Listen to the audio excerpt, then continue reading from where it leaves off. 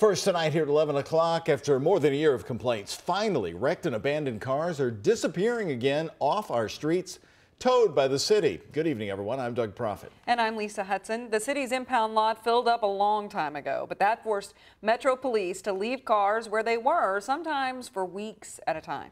Became a real eyesore. A lot of complaints flowed in. 1111's Heather Fontaine is live right now from the old impound lot on Frankfort Avenue that is so full. Heather, what did you find has changed all of a sudden? Well, Doug, there are certainly things that are being done to clear out this impound lot. For example, just yesterday, nearly 150 cars were auctioned off. But here's the thing, about 200 cars are coming in a week. So it's still overcrowded, which means a lot of those broken down cars are going to be sitting on your streets longer. But I do have good news to report tonight. LMPD coming up with a temporary solution, an overflow lot to put those abandoned cars to clear off those streets as quickly as possible abandoned and in the way. We got neighbors here. They can't park there in front of their house because there's an abandoned car there. Margaret Phelps says this beat up Lexus has been sitting in front of her home on Breckenridge Lane for more than three months. A problem all too familiar. Abandoned cars crowding our city streets and highways for weeks at a time. It's an eyesore. Usually cars like this will end up here at the city impound lot on Frankfort Avenue. Every car we get on here, we have to hold a minimum of 45 days under law. But right now, it's more than 400 vehicles over capacity, an issue Lieutenant Colonel Rob Schroeder has been fighting to solve, on the hunt for a new space for almost a year. It is something high on our list.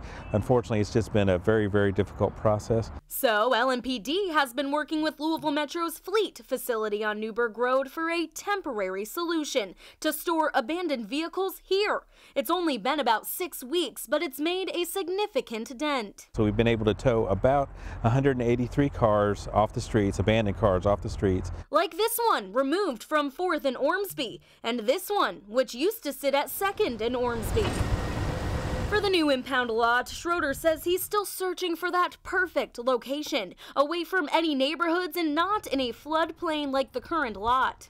We can't actually put cars on all this space, so the space uh, really is just sitting here empty. He's also hoping for about 1,700 acres of land, but after more than 40 site visits, he says they've had to adjust the wish list. What we're looking to do at this point is consider maybe even some smaller spaces with one main tow lot for the tow operations and potentially an overflow overflow lot uh, for vehicles like the abandoned cars that are less likely to come get picked up. As for the Lexus on Breckenridge, just get it off my street, yes. Phelps says, come and get it.